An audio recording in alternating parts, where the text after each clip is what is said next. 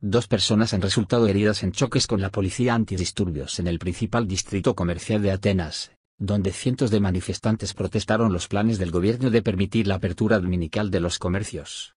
Según medios locales, la protesta logró reunir el noreste de la capital y a unos 300 empleados del sector minorista bajo el lema Nunca el domingo, refiriéndose a los planes del gobierno de permitir la apertura dominical de los comercios. Otras fuentes en las redes sociales elevan la cifra de los manifestantes hasta aproximadamente mil personas.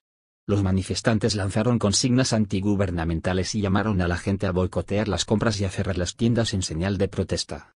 Los agentes de policía antidisturbios trataron de dispersar la protesta con gases lacrimógenos, enfrentándose a los participantes de protestas con productos químicos, en medio de una brutal represión, según medios locales.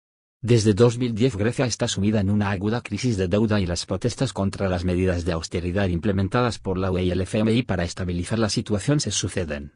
El descontento popular se nutre especialmente de los alarmantes niveles de paro, los más altos en la Unión Europea,